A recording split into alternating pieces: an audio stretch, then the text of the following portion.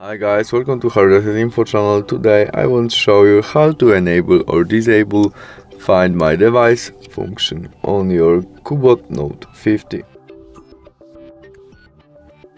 To do that open settings application where we look for our Google selection. Now we tap on Find My Device and there by the switch we can easily enable or disable this function. But to do that we must confirm all by adding our pattern. And that's all. Thanks for watching. See you soon. Bye.